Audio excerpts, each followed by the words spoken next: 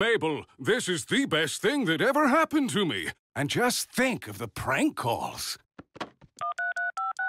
Hello? Hello, this is the President of the United States of America. I'm calling to tell you. What? Who is this? Ho, ho, ho, magnificent.